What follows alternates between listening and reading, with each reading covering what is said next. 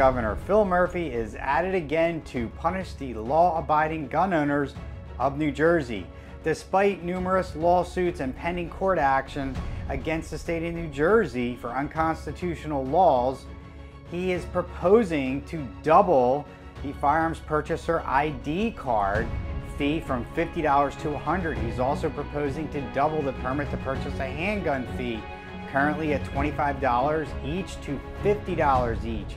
He's also proposing to double the carry permit fee, which is currently $200, and he wants to make that $400. He also wants to increase fees if you want to be a gun dealer in New Jersey. Instead of punishing the actual criminals that break the law and use firearms to commit crimes, he again is going after law-abiding gun owners in New Jersey.